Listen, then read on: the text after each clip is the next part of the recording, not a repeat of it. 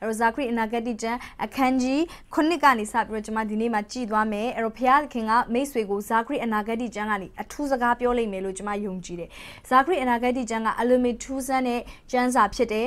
သူကဣသရေလလူတွေဘာဘူးလုံပြည်ကိုဖမ်းဆီးခြင်းခံရပြီးတော့နှစ်80ကြာတဲ့အခါမှာဘုရားဂရိပေးထားတဲ့အတိုင်းပဲသူတို့တွေပြန်ပြီးတော့ကိုယ့်ရဲ့ပြည်ရင်းဖြစ်တဲ့ ဣသရေလပြည်ကိုပြန်လာခွင့်ရတယ်အဲ့ဒီခါမှာသူတို့ပြည်ကိုပြန်ရောက်ရောက်ချင်းအဖွဲ့တွေလူ9000လောက်သောလူတွေပြန်ရောက်လာကြတယ်သူတို့မှာမြို့ရိုးလည်းမရှိဘူးဗိမ္မာန်တော်လည်းမရှိဘူးသူတို့မှာယစ်ပရောဟိတ်ကလည်းပဲမတန့်ရှင်းတဲ့ယစ်ပရောဟိတ်ဖြစ်နေတယ်သူတို့ကိုဥဆောင်နေသူကိုလည်းပဲအားငယ်စရာအကြောင်းရင်းတွေကအများကြီးဝန်းရံနေတဲ့အချိန်ကာလကြီးဖြစ်တဲ့ တဘာသောတိုင်းပြည်သူပြည်သားတွေကသူတို့ကိုရံဘတ်ပြုတယ်ဗိမာန်တော်စောက်လို့မရအောင်14နှစ်တိုင်တိုင်စီတားခြင်းခံရတယ်ဒီလိုမျိုးအရာတွေကြုံနေတဲ့အချိန်မှာဖခင်က prophet ဇာခရီကိုအသုံးပြုပြီးတော့သူ့ရဲ့လူတွေဖြစ်တဲ့ဣသရေလလူတွေကို prophet ပြုခဲ့တာဖြစ်တယ်။ဇာခရီအနာဂတ်ကျမ်းကဣသရေလလူတွေကိုအဓိက prophet ပြုတဲ့ prophet ပြုချက်ဖြစ်တယ်။ဒံယေလအနာဂတ်ကျမ်းကတော့သူကလာမယ့်အနာဂတ်တပားအမျိုးသားတွေနဲ့ပတ်သက်ပြီးတော့ prophet ပြုတဲ့အနာဂတ်ကျမ်းဖြစ်တယ်။ဒါမဲ့ ဗျာဒိတ်ကျမ်းကတော့အသင်းတော်နဲ့ပတ်သက်ပြီးတော့ prophet ပြုထားတဲ့ prophet ပြုချက်ဖြစ်တယ်အဲ့တော့ဇာခရီအနာဂတ်ကျမ်းဒံယေလအနာဂတ်ကျမ်းနဲ့ဗျာဒိတ်ကျမ်းဟာဒီ၃ခုဟာတကယ်ကိုစိတ်ဝင်စားစရာကောင်းတဲ့ prophet ပြုချက်အနာဂတ်နဲ့ပတ်သက်တဲ့ prophet ပြုချက်တွေဖြစ်တယ်အမေဇာခရီအနာဂတ်ကျမ်းကတော့ ဂျူးလူမျိုးတွေနဲ့ပတ်သက်ပြီးအဓိကဘုရားခင်က prophet ပြုထားတာကိုတွေ့ရတယ်ဒီလိုပြောလို့ဂျူးတွေနဲ့ပတ်သက်ပြီးတော့ပဲဘုရားကစကားပြောတယ်လို့ပြောချင်တာမဟုတ်ပါဘူးကျမတို့ဒီလည်းပဲအဲ့ဒီထဲကဂတိတော်တွေဟာကျမတို့နဲ့ဆိုင်တာဖြစ်တယ်ဘုရားသခင်ရဲ့သဘောတဘာဝဘုရားရဲ့နှလုံးသားဘုရားရဲ့လူသားပေါ်မှာထားတဲ့အကြံစီတွေကိုလည်းကျမတို့အများကြီးဒီနေရာကနေပြီးတော့မြင်တွေ့ရတာဖြစ်တယ်အာမင်အဲ့တော့ကျမနဲ့အတူဒီနေ့မှာလေ့လာသွားရအောင်ဟာလေလုယာအဲ့တော့ကျမတို့ဒီနေ့မှာအခန်းကြီး9ကနေကျမတို့စပြီးတော့ကြည်သွားမှာဖြစ်တယ်အခန်းကြီး9အငယ်1ကနေကျမတို့စပြီးတော့ဖတ်ရအောင်ဒါရိမင်းကြီးနန်းဆန်လေးနှင့်ခိတလုမြည်သောနဝမလ၄ရက်နေ့တွင်သာရဖျားရှိတော်၌ဆုတောင်းခြင်းငှာ၎င်းနှစ်ပေါင်းများစွာပြုတဲ့ကဲ့သို့ပထမလတွင်ငိုကြွေး၍ချိုးချံစွာကျင့်ရပါမည်လောဟု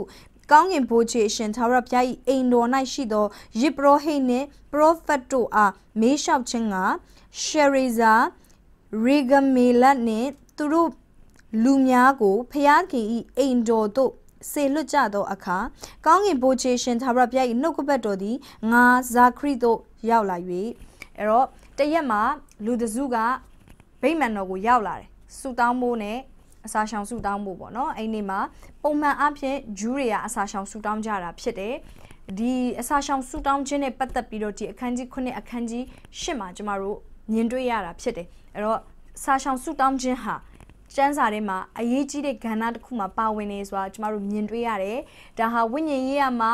discipline တစ်ခုဖြစ်တယ်။ဝိညာဉ်ရေးရမှာဖျားသခင်နဲ့ပုံမတိကျွမ်းဖို့ရန်အတွက်လူသားအနေနဲ့လှုပ်ဆောင်ဖို့ရန်အတွက်လိုအပ်သောလုပ်ရတဲ့အရာတစ်ခုဖြစ်တယ်။အဲ့တော့မိတ်ဆွေသင်ရဲ့အသက်တာမှာအစာမရှောင်ဘူးဘူးအစာရှောင်ခြင်းနဲ့ပတ်သက်ပြီးတော့ပို့ပြီးသိချင်နေဆိုရင် ဒီနေ့နှုတ်ကပတ်တော်မိတ်ဆွေအတွက်ဖြစ်တယ်အဲ့ဒီပြင်သင်အစာရှောင်နေပြီမဲ့လေငါအစာရှောင်တဲ့အရာကမှန်ကန်သလားဒီနေ့သင်ရဲ့သက်တာမှာဖရာသခင်နှစ်သက်တဲ့အစာရှောင်ခြင်းဆိုတာဘလို့မျိုးလဲဆိုတဲ့အရာသိချင်နေဆိုရင်လေဒီနေ့နှုတ်ကပတ်တော်မိတ်ဆွေကိုဖရာသခင်စကားပြောမှာဖြစ်တယ်အဲ့တော့ဣသရေလလူတွေက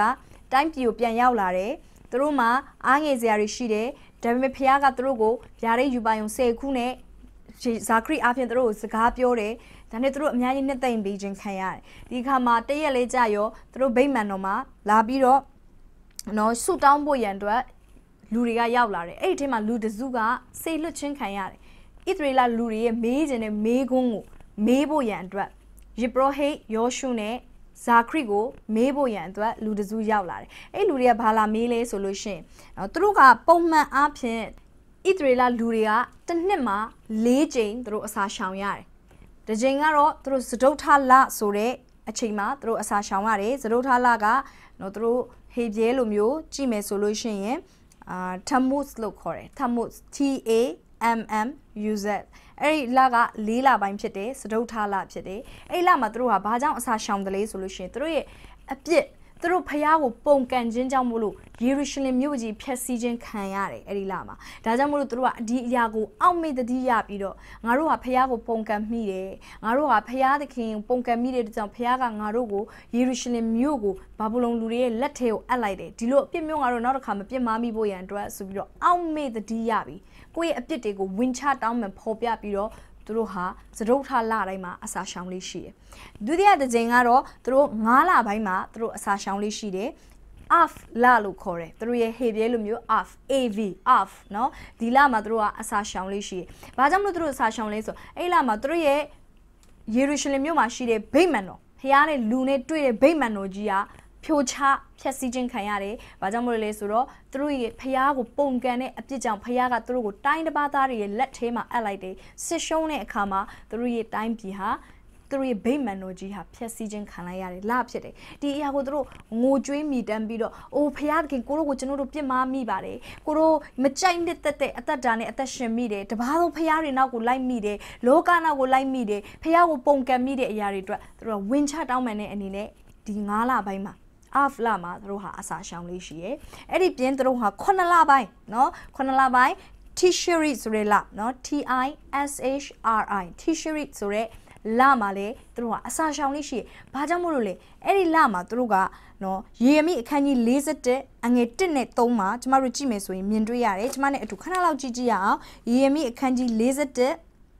အငယ်1နဲ့3မှာတတမလတွင်ဆွေတော်မျိုးတော်ဖြစ်သောမင်းသားအေလိရှမာသားနသနိဤသားဣရှမေလဒီလူတစ်ကျိန်းနှင့်တကွာအဟိကန်သားဂေဒလိရှိရာမေဇပါမြို့သို့လာ၍ထိုမြို့၌စုတီးစားတော့ကြ၏ထိုအခါနတလိသားဣရှမေလနှင့်လူတကြိတ်တို့သည်ထ၍ဘာဘူးလုံရှင်ပြန်အခွင့်နှင့်ပြည်အုပ်လို့သောရှာဖန်ဤသားဖြစ်သောအဟိကဤသားဒီဂေဒလိကိုဓာနှင့်ခုတ်၍တတ်ကြ၏ အဲ့တော့အဲ့ဒီပြည်မှာနော်ဘာဘူးလုံရှင်ပြန်နေဘုခနေစာကခန့်အပ်ထားတဲ့သူတို့ကိုပြည်ကိုအုပ်ချုပ်ရတဲ့ရှာဖန်ရဲ့သားနော်အဟိကဤသားဂေဒလိပြည်တော်အုပ်တဲ့ဂေဒလိဆိုတဲ့လူကိုဣသရေလလူတွေကပုံကံပြီးတော့တတ်တယ်သူတို့ရဲ့လူပဲเนาะဒါပေမဲ့သူတို့ဘာဖြစ်လဲပြန်ပြီးတော့တတ်တယ်ဣသရေလလူတွေကဘလောက်ထိတောင်မှ ရက်ဆက်ကြမ်းကြုတ်လေးဆိုရင်အဲ့ဒီအချိန်မှာဖခင်ကသူတို့ဘာဘူးလုံးလက်ထဲကိုဘာကြောင့်အပ်ရတယ်လဲဆိုတော့သူတို့ရဲ့စိတ်ဓာတ်တွေကအလွန်ပင်ကြမ်းကြုတ်နေတဲ့အချိန်ကာလဖြစ်တယ်သူတို့ရဲ့လူအချင်းချင်းကိုတောင်မှသူတို့ရဲ့တိုင်းပြည်အုပ်ချုပ်တဲ့ပြည်တော်အုပ်ကိုတောင်မှပြန်ပြီးတော့တတ်ဖို့ရန်အတွက်စ조사တယ်တကယ်တော့ဒီလူကဖြောင့်မတ်တဲ့သူဖြစ်တယ်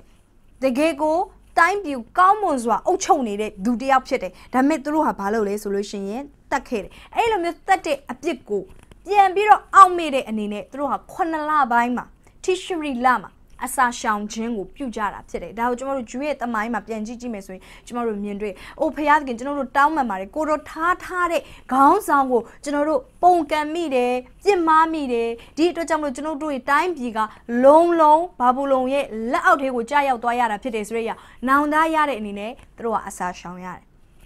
နောက်တစ်ခုသူတို့အစာရှောင်ရတဲ့လကတော့10လပိုင်းဖြစ်တယ် Tivet လ ဖြစ်တယ်သူတို့ကနော်အဲ့ဒီကာလမှာဆိုရင်ဘာကြောင့်အစာရှောင်လဲဆိုရင်ရေယမီအခန်းကြီး53အငယ်6ကနေ9မှာကြည့်ကြည့်မယ်ဆိုရင်တွေ့ရတယ်53အငယ်6ခွန်မှာကျမတို့ခဏလောက်ကြည့်ရအောင်ပြန်လာသောယူရအမျိုးသားအကြံအကျွန်းယောက်ျားမိန်းမသူငယ်မင်းသမီးအစရှိသောကိုရီးယန်တော်မူနေဘု ဇာရဒန်သည်ရှာဖန်ဤသားဖြစ်သောအဟိကန်ဤသားဂေဒလိလက်၌အပ်တော်သူအပေါင်းကို၎င်းပရောဖက်ယေရမိနေရိတာဘာယုတ်တာဘာယုတ်ကို၎င်းခါရာတာဟိုဟနန်နှင့်တမှုအပေါင်းတို့သည်ယူ၍သာရပြိုင်အမိန်တော်ကိုနားမထောင်ပဲအေဂုတုပြည်သို့သွား၍တပနက်မြို့သို့ရောက်ကြ၏ဘာလို့တဲတဲ့လေဣသရေလလူတစုသည်ဖျားသခင်လည်းမပြောဘဲနဲ့ဖျားကို ပုံကံပြီးတော့ အေကုတုပြည်ကိုတွားကြတယ်အဲ့ဒီမှာဘယ်သူလဲပါသွားလဲဆိုတော့သူတို့ကဖမ်းချုပ်ပြီးတော့ prophet ယေရမိကိုပါခေါ်သွားတယ်ဖျားသခင်ကသူတို့ကိုဒီလိုလုပ်ပါလို့မပြောဘူးသူတို့ကရန်သူရဲ့တင်းစီခြင်းကိုခံရတယ်ဘာဘူးလုံးလက်တဲကိုဖျားကသူတို့အပ်လိုက်တာဖြစ်တယ်။ဘာကြောင့်လဲဆိုစုံမဖို့ရန်အတွက်သူတို့ကအလွန်မြရဲ့ဆက်ကြမ်းကြုတ်တယ်သူတို့ရဲ့မြို့ဝန်ကိုပါပြန်တက်တယ်နော်သူတို့ရဲ့တိုင်းပြည်တွေမှာရှေ့လူအချင်းချင်းစီးပွားတွေကိုလည်းခိုးယူဖျက်ဆီးတယ်သူတို့ကမင်းမဲ့တိုင်းပြည်လိုပဲဖျားမဲ့တိုင်းပြည်လိုပဲသူတို့ကအသက်ရှင်နေကြတာဖြစ်တယ်။အဲကြောင့်ဖျားကဘာဘူးလုံးလက်ထဲအပ်တာကိုသူတို့ကမလိုလားတဲ့အတွက်ဘာလုပ်လဲဆိုလို့ရှိရင်လူတစုကိုအတင်းဖမ်းချုပ်ပြီးတော့သူတို့ဒီ အဲဂုတုပြည်ကိုတွားပြီးတော့ခိုလုံမှုရန်အတွက်စူးစမ်းခဲ့တယ်ဒီအရာအလုံးမယွင်းတဲ့အရာဖြစ်တယ်ဖခင်ရဲ့အကြံစီတော်ကနေထွက်ပြေးတာနော်အဲ့တော့ဘာလို့လဲသူတို့ဝင်ချတောင်းပန်တဲ့အနေနဲ့အစာရှောင်ကြတယ်ဆယ်လပိုင်းမှာเนาะကျမတို့ကြည့်ကြည့်မယ်ဆိုလို့ရှိရင်ဂျူးတွေဟာဒီ၄ချိန်သူတို့အထူးအထွတ်အမြတ်အနေနဲ့အစာရှောင်ကြတာဖြစ်တယ်၄လပိုင်းမှာတစ်ကြိမ်၅လပိုင်းမှာတစ်ကြိမ်9လပိုင်းမှာတစ်ကြိမ်10လပိုင်းမှာတစ်ကြိမ်အဲ့တော့သူတို့ဒီအဲ့လိုမျိုးအစာရှောင်တဲ့ အရာကိုဆက်ပြီးတော့လုပ်ရအောင်မလားကျွန်တော်တို့အခုဘာဘူးလုံတိုင်းပြည်ကနေပြန်လာပြီဣသရေလတိုင်းပြည်ကျွန်တော်တို့ပြန်ရောက်လာပြီဒီအရာကိုဆက်ပြီးတော့လုပ်ရအောင်မလားဆိုပြီးတော့မေးတာဖြစ်တယ်အဲ့ဒီလိုမျိုးအချိန်โอเคခုနကတော့ကျမတို့ဖတ်ခဲ့တဲ့ဇာခရီအနာဂတိကျမ်းအခန်းကြီး9ခါလူတွေကသူ့ကိုဗိမ့်မန်တော်မှာဇာခရီနဲ့ ယောရှုကိုလာမေးတဲ့ဒီမေးခွန်းဖြစ်တယ်ကျွန်တော်တို့အစာဆက်ရှောင်စရာလိုသေးလားအဲ့ဒီအခါမှာဖခင်ရဲ့နှုတ်ကပတ်တော်ဇာခရစ်စီကိုရောက်လာတယ်ဟာလေလုယဖခင်ကသူ့ရဲ့လူတွေမေးတဲ့အခါမှာအမြဲတမ်းဖြေတဲ့ဖခင်ဖြစ်တယ်ချက်ချင်းဘုရားခင်ကအဲ့ဒီဗိမ္မာန်တော်မှာလူတွေမေးတဲ့အချိန်မှာဘုရားရဲ့နှုတ်ကပတ်တော် ဇာခရစ်စီရောက်လာတယ်ဘလို့မျိုးဘုရားရဲ့နှုတ်ကပတ်တော်ပြန်ဖြေလဲကျွန်တော်တို့အစာရှောင်ဖို့လိုသေးလားလို့လူတွေကလာမေးတဲ့အခါမှာဘုရားခင်ဘလို့ဖြေတယ်လဲဆိုတော့ကျွန်တော်တို့အတူကြည့်ရအောင်အငယ်9မှာယေဘရဟိတို့နဲ့ပြည်သူပြည်သားအပေါင်းတို့ဟာတင်ဆိုရမည်မှာအနှစ်80ပတ်လုံးတင်တို့သည်ပြင်စမလာနှင့်တသမလာတွင်အစာရှောင်၍ငိုကြွေးမြည်တမ်းသောအခအစင်အကေစင်စစ်ငါအလိုရှိသည့်အတိုင်းငါအားအစာရှောင်ကြသလိုဂျူးတွေက အနစ်80လုံးလုံးတော့အစာရှောင်ပါတယ်အဲ့ဒီနေ့ရက်တွေမှာနေတူးနေမြတ်နေနဲ့သူတို့ထိုင်ပါလို့ဖះအောင်ငါတို့ပြင်မမိပြီဒါကြောင့်ငါတို့ဖန်ဆီးခြင်းခံရငါတို့ဗိမာန်တော့ပျက်စီးသွားတယ်ငါတို့အုပ်ချုပ်မဲ့သူမရှိတော့ဘူးငါတို့ဒီဖះမခိုင်းတဲ့လမ်းကိုမသွားခိုင်းတဲ့လမ်းကိုလွဲခဲ့တယ်ဆိုပြီးတော့ငါတို့သူတို့နောင်တရပြီးတော့အစာရှောင်ကြပြီမဲ့ဖះကမေးတယ်ဒီမေးခွန်းကိုအကေစင်စစ်ငါအလိုရှိသည့်အတိုင်းငါအားအစာရှောင်ကြသလို ဒီမိကွန်းကကျမတို့ကိုယ့်ကိုမေးရမယ့်မိကွန်းဖြစ်တယ်ကျမတို့လည်းအစာရှောင်တဲ့အခါမှာဖះအလိုရှိတဲ့အတိုင်းအစာရှောင်ရဲ့လားကျမဆိုလည်းအခုအစာရှောင်နေတာဖြစ်တယ်နော်အဲကျမတို့အသင်းတော်ရဲ့အမှုတော်ဆောင်နေနဲ့ကျမတို့အခုဒီဘက်အစာရှောင်ကြတယ်အသင်းတော်နဲ့အသင်းသားတွေအတွက်ဆူတောင်းပေးဖို့ရန်အတွက်ကဘာလုံးဆိုင်ရာအသင်းတော်တွေအတွက် Miracle Maker Church အတွက်ကျမတို့ဆူတောင်းပေးနေကြတာဖြစ်တယ်စာရှောင်တဲ့အခါမှာ သတိထားဖို့လိုအပ်တယ်တခါတည်းမှာကျမတို့ကကိုရှောင်ခြင်းလို့သာရှောင်တာနော်ခံစားရလို့ရှောင်တာဓမ္မမို့ရင်လေသူများရှောင်လို့လိုက်ရှောင်တာရှိတယ်ဓမ္မမဟုတ်ရင်လေကျမတို့ကရှောင်ရမယ်ဆိုတဲ့စီကံချက်ရှိလို့သာရှောင်တာ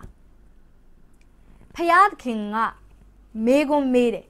ငါအလိုရှိသည့်အတိုင်းအစာရှောင်လား ဖယားအလိုရှိသည့်အတိုင်းအစာရှောင်မှပဲဖယားရှိမှအရာရောက်မှာဖြစ်တယ်အဲ့တော့ဣသရေလလူတွေကအစာတော့သူတို့ရှောင်နေတယ်အနည်း80ပတ်လုံးလဲသူတို့အစာရှောင်တယ်ဒါပေမဲ့ဖယားအလိုရှိတဲ့အတိုင်းအစာရှောင်သလားသူတို့ဟာ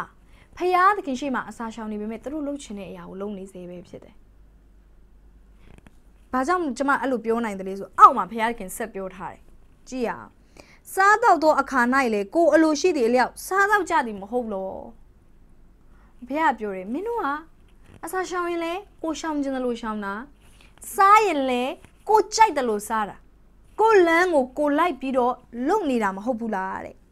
ယေရုရှလင်မြို့မပြတ်စီပင်၍ပတ်လည်၌ရှိသောမြို့ရွာတောင်မျက်နှာအရက်နှင့်ငြိမ်ညီသောအရက်များ၌လူများသေးသောအခါတနည်းအားဖြင့်ပြောမယ်ဆိုရင်ယေရုရှလင်မြို့ဟာဖျက်ဆီးခြင်းမခံရသေးတဲ့အချိန်မှာ ရှေးပရောဖက်တို့ဖြင့်ထာဝရဘုရားကြွေးကြော်တော်မူသော အမိန့်တော်ပြည့်စုံပြီမဟုတ်လောဟုမိန့်တော်မူ၏ဘာဒီကဘာအတိတ်ပဲလေသိလားဣသရေလနိုင်ငံမပြည့်စည်သေးခင်မှာဖျားခင်ကပရောဖက်တွေကိုလွတ်ပြီးတော့အကြိမ်ကြိမ်သတိပေးတယ်ပရောဖက်ယေရမိသတိပေးတယ်လူတွေရှိမှပြောပြတယ်နောင်တရပါဖျားလမ်းကိုပြန်လှည့်ပါ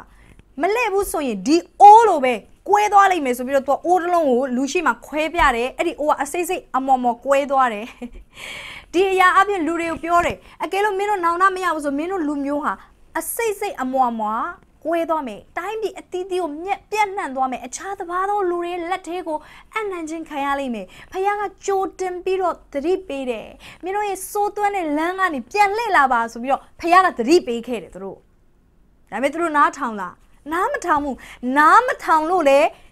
ဘာဘူးလုံလက်ထဲကိုအနံ့ချင်းခံလိုက်ရတာဖြစ်တယ်။ Okay အဲ့တော့သူတို့ဒီဖယားပြ prophet တွေရဲ့စကားကိုနားမထောင်ခဲ့ဘူး။ Zephany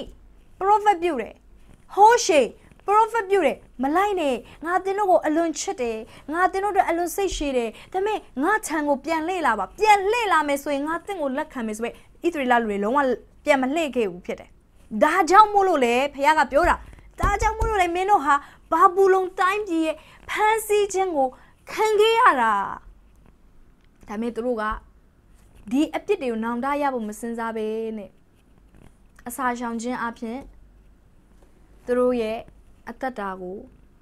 ဖရာသခင်ခွင့်လွတ်ပြီးဖရာသခင်နှစ်သက်ပြီးလို့သူတို့ကထင်နေတာဖြစ်တယ်ကျွန်မပြောမယ်ကျွန်မတို့ဒီအစာရှောင်ခြင်းကိုထုံတန်းစင်လာအဖြစ်မလုံမိပါစေနဲ့ ဒီကလူတွေကအဲ့လိုမျိုးလုပ်နေတာလာမေးတဲ့တစုကတော့တိတ်ဆိတ်ဝင်စားစရာကောင်းတယ်သူတို့ကတကယ်သိချင်တာအစာရှောင်ခြင်းအတိတ်ပဲဆိုတာဘာလဲဘာကြောင့်ကျွန်တော်တို့ဆက်ပြီးတော့ရှောင်ရမှာလဲဒီကျမတို့လည်းအဲ့ဒီလူတစုလိုပဲစိတ်နှလုံးရှိဖို့ရန်တော့လိုအပ်တယ်အာမင်ဘာလို့အစာရှောင်ရတာလဲဘာလို့ဖះเจ้าလာရတာလဲဘာလို့ကျန်းစာဖတ်တာလဲဘာလို့ဆုတောင်းရတာလဲထုံးတန်းစင်လာအဖြစ် ဆက်လုပ်ပြီးတော့ဖះမနစ်သက်တဲ့လမ်းကိုလိုက်နေပြီးတော့ဖះရှိမှာအာဘက်ပြေယုံလာပြီးဆုတောင်းတာဖះเจ้าလာတတ်တာဒီလိုမျိုးမလုပ်မိဖို့ရန်တော့လိုအပ်တယ်ကျမတို့အစာရှောင်ခြင်းဆုတောင်းခြင်းနှုတ်ကပတ်တော်ဖတ်ခြင်းကျမတို့ဖះเจ้าလာခြင်းဆိုတာဒီဘာသာရေးထုံးတန်းစင်လာအတွက်လုပ်နေတာမဟုတ်ဖ ೇನೆ တကယ်ဖះနဲ့အကျွမ်းဝင်မှုရန်အတွက်တကယ်ဖះနဲ့ကိုနဲ့ကြားတဲ့ကဆက်ဆံရေးတင့်မြတ်ဖို့ရန်အတွက်ဖြစ်ရမယ် အထူးသဖြင့်အစာရှောင်ခြင်းဆိုတာသည်ဖျားသခင်ကိုပြောင်းလဲစေဖို့မဟုတ်အချို့လူတွေကအစာရှောင်ဆုတောင်းတာဘာလို့လဲလိုချင်တာတခုခုရှိလို့နော်ငါဒီလိုမျိုးဒီလိုမျိုးလိုချင်တဲ့အတွက်ဒီအကြောင်းကိုတက်ချင်တဲ့အတွက်ဒီအလုပ်ကိုရချင်တဲ့အတွက်ဒီလိုမျိုးဘယ်အလုပ်လုပ်တဲ့အရာတွေကိုမြင်ကျင်တဲ့အတွက်ဆိုပြီးတော့ဖရာသခင်ကျင်းတဲ့တစုံတစ်ခုရဖို့ရန်အတွက်အစာငတ်ခံပြီးတော့ဆန္ဒပြတဲ့ ပုံစံမျိုးနဲ့အစာရှောင်ရတာမဟုတ်ပါဘူးအစာရှောင်နေဆိုတာဒီကျမတို့ရဲ့အသက်တာဖရာနဲ့ပူတူလာဖို့ရန်အတွက်ဖြစ်တယ်ဖះပြောင်းလဲဖို့မဟုတ်ဘူးကျမတို့ပြောင်းလဲဖို့ပြောပါအောင်ဖះပြောင်းလဲဖို့မဟုတ်ကျွန်တော်တို့ပြောင်းလဲဖို့ကျမတို့ပြောင်းလဲဖို့အာမင်အဲ့တော့ကျမတို့ကဖះပြောင်းလဲဖို့တင်မျော်လင့်နေတော့ဖះသခင်ကမနေ့ယနေ့နောင်ကာလမပြောင်းလဲဘူးလို့စတဲ့ဂရိပေးထားပြီးသားဖြစ်တယ်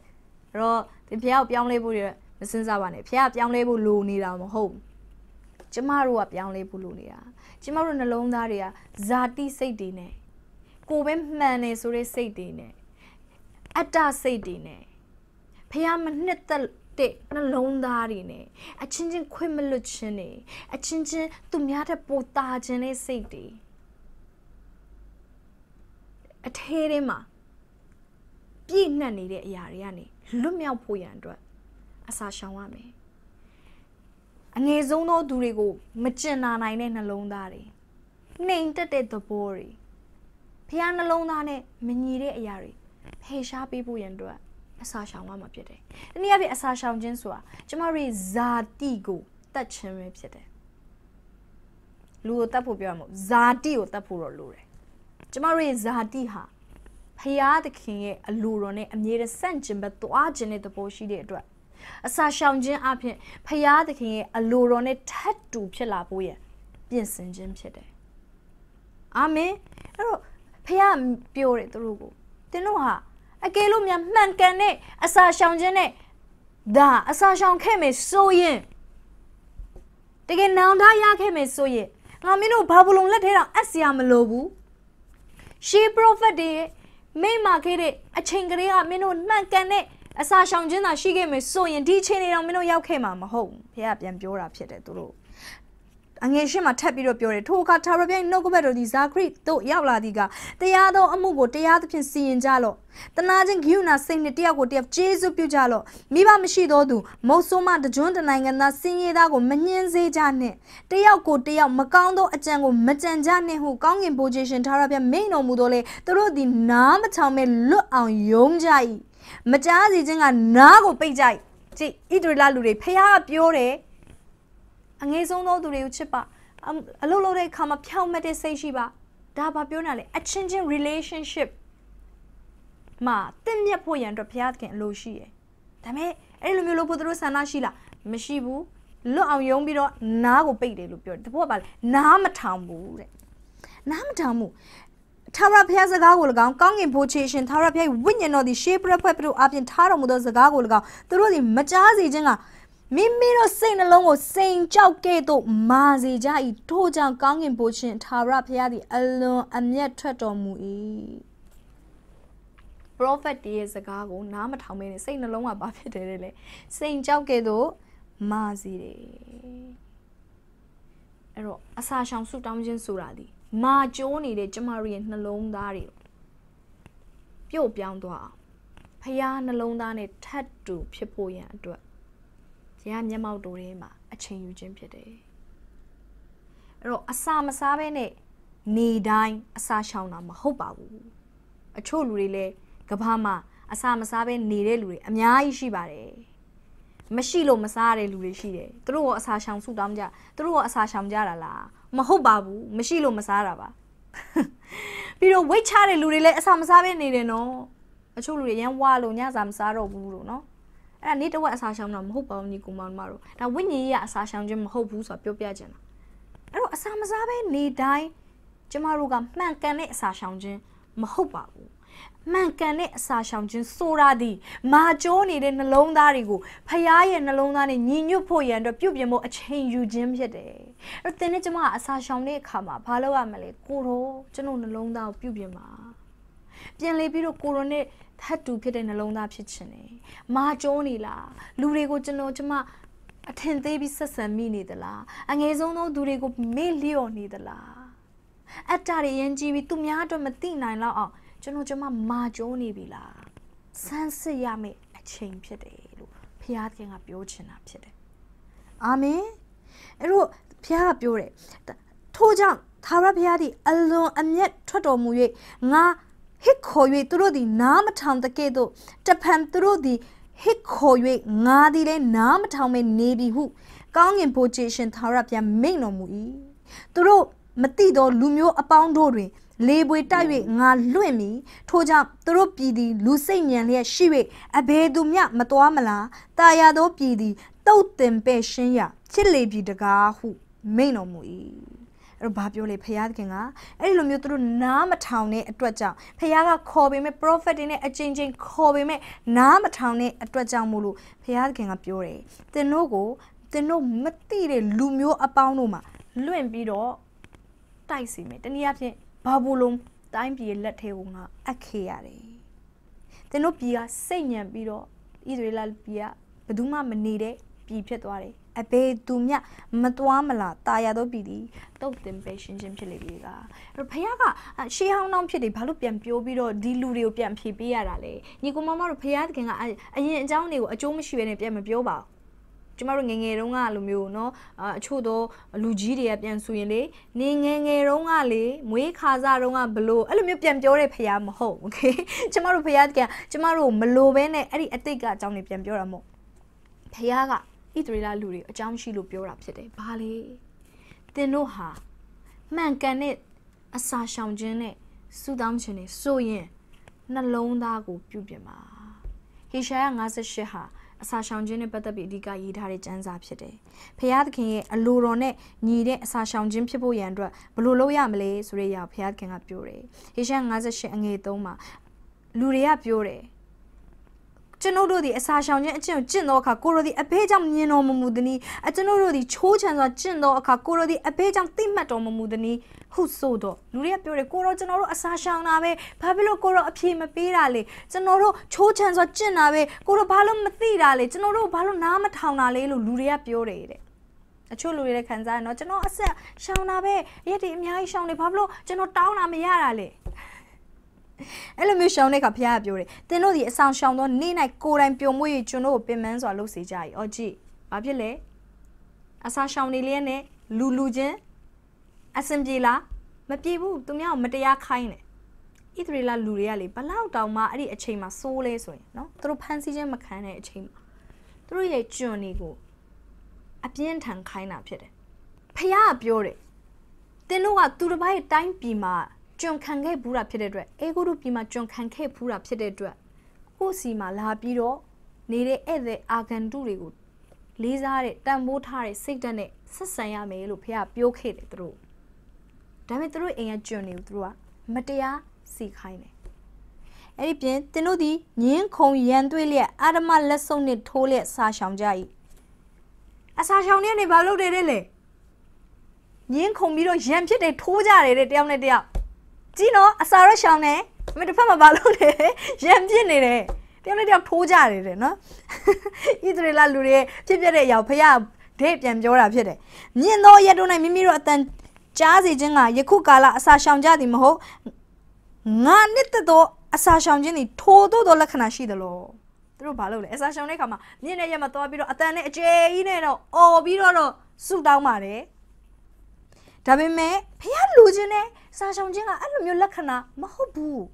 လူသည်တရက်တွင်ချိုးချံစွာကျင့်ခြင်းကိုင်းမင်ကဲ့သို့ဥချခြင်းအဲ့ရဖို့ရှော်တင်နှင့်ပြာကိုခင်းခြင်းလက္ခဏာရှိလျင်အစာရှောင်ခြင်းဟူ၍၎င်းထာဝရဘုရားနှစ်သက်တော်မူသောနေ့ရက်ဟူ၍၎င်းမဲ့အပ်သလိုဘုရားကဒိတ်ပြောပြီ တင်းတို့ကားတဲ့နော်အစာရှောင်တယ်လို့ဆိုပြီးတော့တဲ့နော်ချိုးချံစွာကြံ့တယ်မစားဘဲနေတယ်နော်ကိုင်းပင်ကဲ့သို့ဥချခြင်းမလေးဆူတောင်းတာမပြတ်ဝိုးပြီးတော့နော်ဥချပြီးတော့ဆူတောင်းတယ်နော်ဒီဒါရင်သာမကသေးဘူးအဲ့တဲ့အခါမှာတော့မှရိုးရိုးအိတ်ရမှာမအိတ်ဘူး short တေပြာနဲ့လှုပ်ထားတဲ့နော်ဒီ short တေဆိုတာသူတို့အိတ်ခက်မှာဂုံနေအိတ်လိုမျိုးပေါ့နော် short တေဆိုတဲ့အရာမျိုးခင်းပြီးတော့ပဲအိတ်တာမွေးရနဲ့တော့မအိတ်ဘူးကောင်းကောင်းမွန်မွန်တော့သူတို့မအိတ်ဘူးဖြစ်တယ်ဒီလိုမျိုးအရာတွေကိုခင်းပြီးတော့အိတ်တယ် ဒါပေမဲ့အဲ့ဒီလိုမျိုးမင်းတို့ချိုးချံစွာနေတိုင်းအစာရှောင်နေလို့ဘယ်သူပြောလဲတဲ့ဖခင်ကပြန်ပြီးတော့ prophet Heshaya အပြင်ပြောတယ် Heshaya 58အငယ်9မှာအဲ့တော့ဖခင်ကငါနှစ်သက်သောအစာရှောင်ခြင်းဟုမူကားမတရားသောအချီအနာကိုချွတ်ခြင်းလေးသောဝန်ကိုချခြင်းညင်းစေခံရသောသူကိုလွတ်ခြင်းတဘိုးရှိသမျှကိုချိုးခြင်းမဟုတ်လော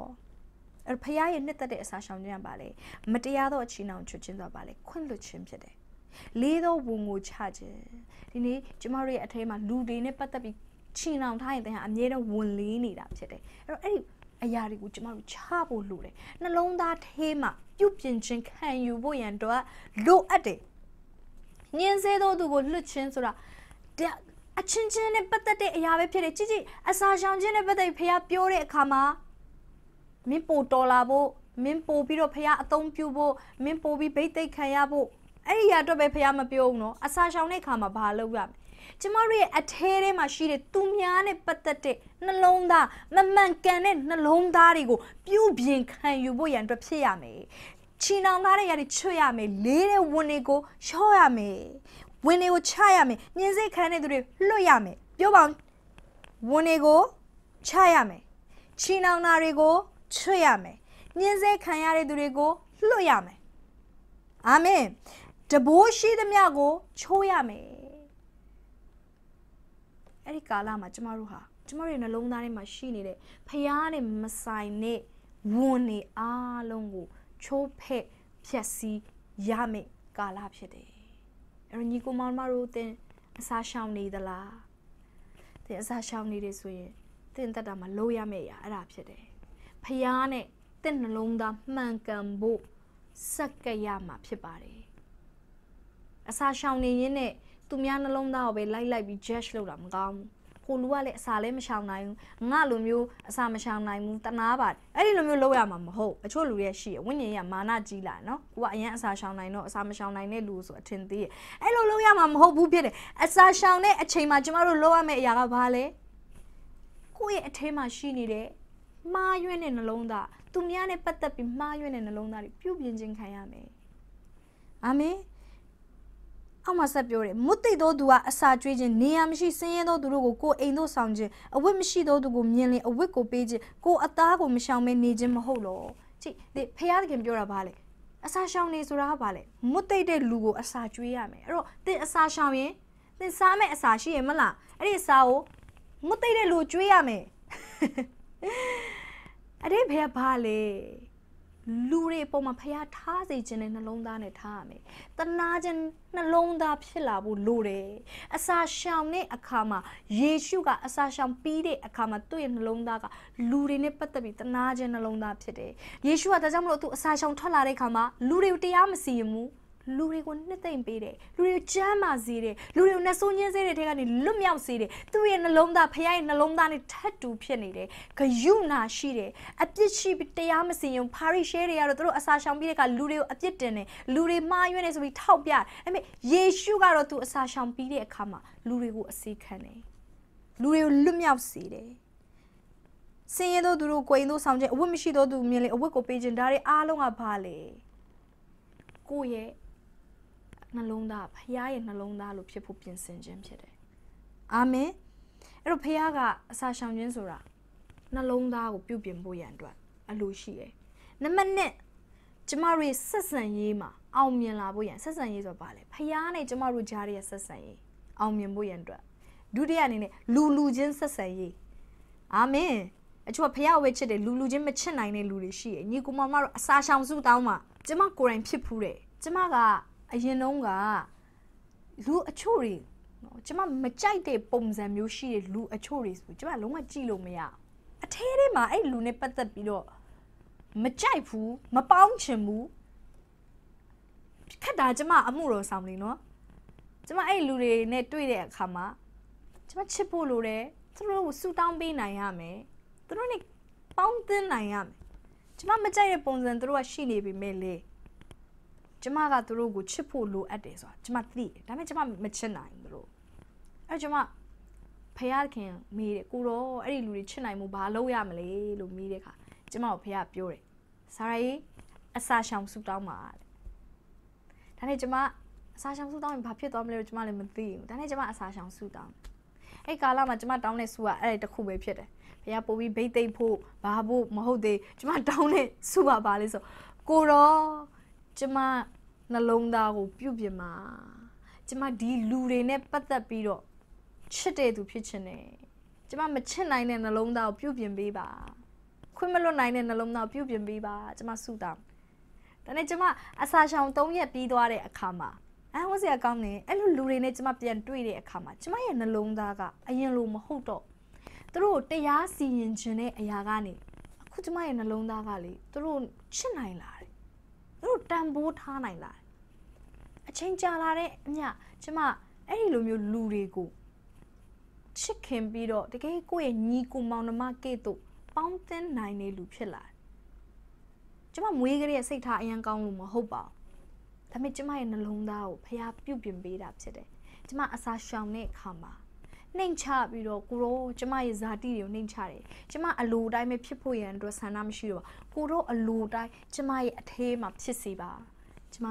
နှိမ်ချတဲ့အခါဖခင်ကကျွန်မကိုပြောင်းလဲပေးတာဖြစ်တယ်ဒီနေ့တင့်ကိုလည်းပဲဖခင်ကပြောင်းလဲပေးနိုင်တယ်အာမင်အဲ့တော့နှလုံးသားမှန်ကန်မှုလိုတယ်အဲ့လိုမျိုးသင်မှန်ကန်ပြီဆိုရင်သင်ဟာဆက်ဆံရေးတွေမှန်ကန်လာလိမ့်မယ်သင်ရဲ့ဆက်ဆံရေးဖခင်နဲ့ဆက်ဆံရေးလူလူချင်းဆက်ဆံရေး သင်မှန်ကန်လာမယ်ဆိုရင်သင်ဟာပတ်ဝန်းကျင်ကိုလည်းကောင်းကြီးဖြစ်စေတဲ့ပြောင်းလဲစေတဲ့လူဖြစ်လာလိမ့်မယ်အဲ့တော့ဒီမှာဗာမြင်ရတယ်လေဆိုဟေရှာအခန်းကြီး58အငယ်8မှာဗာပြောလေဆိုတို့ပြုလင်တေးအလင်းဒီမိုးတောက်သောအလင်းကဲ့သို့ပေါ်ထွန်း၍ကြည်မှန်ကန်စွာတင်ဟာအစာရှောင်မယ်ဆိုဘာဖြစ်မယ်လဲလေဘုံထင်ရှားမယ်ဖခင်ရဲ့ဘုံထင်ရှားမယ်အလင်းအမျက်ကျမ်းမာခြင်းတို့ရောက်လိမ့်မည်တဲ့ဖခင်စီကနေလာတယ် ကျမ်းမာခြင်းလေးခံစားရမယ်လူအချို့တွေကျမ်းမာခြင်းမရတာဘာကြောင့်လဲသူတို့ရဲ့အထက်မှာလူလူချင်းချီနှောင်ထားတဲ့အရာတွေရှိလို့ညီကိုမမတို့အစာရှောင်ဆူတောင်းမှာနှိမ်ချပြီးတော့ဖခင်အလိုကိုဝန်ခံမှုဆူတောင်းမှာဖခင်နှလုံးသားနဲ့ညီဖို့ရန်အတွက်ဆက်ဆံရေးတွေပြန်လဲသင့်မြတ်ဖို့ရန်အတွက်ဆူတောင်းမှာသင်မကြခင်အမြန်ဆုံးကျမ်းမာခြင်းပြန်လဲခံစားရမှာဖြစ်တယ်။သင်ဤဖြောင့်မတ်ခြင်းပါရမီဒီသင်ရှိ၌တွား၍သာရဖိတ်ဘုံတော်သည်နောက်၌လုံခြုံစေလိမ့်မည်။ အဲ့တော့သင်ကဖြောင့်မတ်တဲ့သူဖြစ်မယ်။သင်ရဲ့အရှိမဖြောင့်မခြင်းပါရမီကသွားပြီးတော့ဖခင်ရဲ့ဘုန်းတော်ကသင်ကိုလုံခြုံစေမယ်။သင်ရဲ့သင်ဖခင်ရဲ့ဘုန်းနဲ့ပြည့်တဲ့သူဖြစ်လာမယ်။အဲတော့အစာရှောင်ရင်သင်ဘိတ်သိက်တွေတက်လာတယ်။အစာရှောင်ရင်ဘုန်းနဲ့ပြည့်စုံလာတယ်။ဘာကြောင့်လဲ။သင်နှလုံးသားဖះနဲ့ထပ်တူဖြစ်လာတဲ့အခါမှာဖះသင်ဘိတ်သိက်ပေးလို့ရလာတယ်။ဖះသင်ကိုဘုံနဲ့လွှမ်းခြုံပေးလို့ရတယ်အချို့တွေကကျွန်တော်အစာရှောင်မယ်ဖခင်ကကျွန်တော်ဘိတ်သိပ်ဖို့ ဟုတ်ပါတယ်မှန်ပါတယ်ဒါပေမဲ့ဖခင်ဘိတ်သိပ်ဖို့တင့်နှလုံးသားပြောင်းလဲဖို့အရင်လိုအပ်သေးတယ်အချို့တနေ့ကို6နာရီတော့ဆူတောင်းတယ်ဒါပေမဲ့နှလုံးသားကဘယ်သူနဲ့မှပေါင်းလို့မရဘူးဘယ်သူမှမချစ်နိုင်ဘူးဆိုဖခင်ကတင့်ကိုဘယ်လိုဘိတ်သိပ်ပေးရမလဲအာမင်တင်တကယ်ဘိတ်သိပ်လိုချင်နေဆိုတင့်အသက်တာနှလုံးသားပြောင်းလဲဖို့အရင်ပြုပြင်လိုက်ပါစာရှောင်ရင်းနဲ့တင့်ရဲ့အသက်တာကိုဖခင်လက်ထဲမှာပြုပြင်ခြင်းခံယူမယ်ဆိုရင်တင့်ကိုဖခင်ဘိတ်သိပ်လို့ရလာမှာဖြစ်တယ်ဟာလေလုယာ အဲ့တော့အစာရှောင်ခြင်းရဲ့တကိုးတွေကိုကျွန်တော်တို့အောက်မှာဆက်ဖက်ရင်မြင်တွေ့ရတယ်နော်ဘာပြောလဲတို့ပြုလင်ထာဝရဘုရားသည်တင်ခေါ်တော့ကထူးလိုက်မည်အော်ဟစ်တော့ခါငါရှိသည်ဟုမိန်တော်မူလိမ့်မည်တင်သည်တင်၏အထက်ကတဘိုးကို၎င်းလက်ညှိုးထိုးခြင်းကို၎င်းကဲ့ရဲ့သောစကားကို၎င်းပယ်ရှား၍အဲ့တော့ဘုရားသခင်ကတင်ရဲ့တဘိုးရှိသမျှဖယ်ရှားပေးမှာဖြစ်တယ်အာမင်တဘိုးဆိုတာဘာလဲတဲ့ရဲ့အထက်ကရှိတဲ့တဘိုးဖြစ်တယ်တဲ့ရဲ့အထက်ရှိတဲ့တဘိုးဆိုတာ လူတွေနဲ့ပတ်သက်ပြီးချီနှောင်ထားတဲ့တဘိုးတွေဘုရားသခင်ဖြတ်ပေးမယ်ကောင်းကြီးမင်္ဂလာတွေအောက်မှာအများကြီးရှိပါတယ်ဒါပေမဲ့ကျမမဖတ်တော့အဲ့တော့ကျမတို့လိုအပ်တာကဖခင်ရဲ့အလိုတော်နဲ့ညီတဲ့အစာရှောင်ခြင်းဖြစ်ဖို့လိုအပ်ပါတယ်အဲ့တော့ဒီနေ့မှာကျမတို့ပြုပြင်ရအောင်ဖခင်ဣသရေလလူတွေကိုဇာခရီအဖြစ်ပြောတယ်အစာရှောင်ဖို့လိုလားလိုပါတယ်ဒါပေမဲ့အစာရှောင်တဲ့အခါမှာမှန်မှန်ကန်ကန်တော့ ရှောင်ဖို့လိုတယ်ဖခင် yes or no မပြောဘူးဒါပေမဲ့နီလန်ပေးတယ်မှန်မှန်ကန်ကန်ရှောင်အာမင်โอเคအဲ့တော့ကျမတို့ဆက်ပြီးတော့ကြည့်ရအောင်အခန်းကြီး၈ရောက်တဲ့အခါအခန်းကြီး၈ကလည်းဖခင်တဆက်သေးဆက်ပြီးတော့ပြောတဲ့စကားဖြစ်တယ်โอเคဘာလို့လဲဆိုကျမတို့ကြည့်ကြည့်မယ်ဆိုအဆက်မှာတဖန်ကောင်းကင်ဖိုးချေရှင်သာရဖျားရဲ့နှုတ်ကပတ်တော်ဒီငါစီတို့ရောက်လာ၍ဖခင်ရဲ့စကားကအဲ့နေ့မှာပဲရောက်လာတာဖြစ်တယ် ဇက်တိုက်ပေါ့နော်အဲ့တော့ဖခင်ဘာပြောလဲစိတ်ဝင်စားသလားညီကိုမောင်မတို့ကျမယုံကြည်ပါတယ်မိတ်ဆွေစိတ်ဝင်စားလိမ့်မယ်လို့ကျမယုံကြည်ရယ်ကျမကိုယ်တိုင်လည်းအရင်မစိတ်ဝင်စားကျမနဲ့အတူကြည့်ကြည့်အောင်အခန်းကြီး၈မှာဘုရားသခင်ဘာထပ်ပြောလဲဇာခရီကိုဣသရေလလူတွေပတ်သက်ဘာဆက်ပြောလဲ အငယ်နဲ့မှာစပြီးဖတ်ရအောင်ကောင်းကင်ဘိုးချီရှင်ထာဝရဘုရားမိန်တော်မူသည်ကငါသည်စီးအောင်တောင်ဖို့အလွန်စိတ်အားကြီးပြီးအလွန်အမျက်ထွက်၍သူ့အဖို့စိတ်အားကြီးပြီးကောင်းကင်ဘိုးချီရှင်ထာဝရဘုရားမိန်တော်မူသည်ကစီးအောင်တောင်သို့ငါပြန်လာပြီးယေရုရှလင်မြို့မှာငါနေမီယေရုရှလင်မြို့ကိုတမန်တရားမြို့ဟူ၍၎င်းကောင်းကင်ဘိုးချေရှင်ထာဝရဘုရားဤတောင်တော်ကိုတန့်ရှင်းသောတောင်ဟူ၍၎င်းသမုတ်ကြလိမ့်မည်အဲ့တော့ဘုရားကဒီအခန်းကြီး၈ရောက်တဲ့အခါမှာဘုရားက ဣသရေလလူတွေနဲ့ပတ်သက်ပြီး तू ဘလောက်တောင်မှစိတ်အားကြီးတယ်ဆိုတဲ့အကြောင်းဘလောက်တောင်မှချစ်အားကြီးတယ်ဆိုတဲ့အကြောင်းကို तू စပြောပြီခုနကတော့ကတော့ဘုရားကသူတို့ကို